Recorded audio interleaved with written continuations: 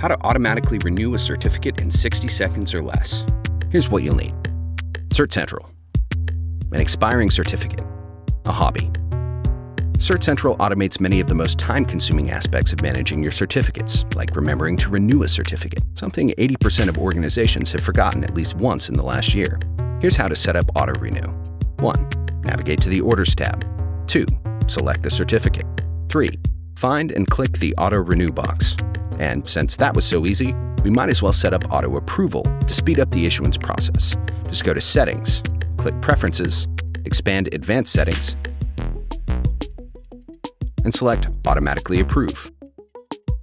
And you're done, leaving you with plenty of time to invest in more worthwhile activities.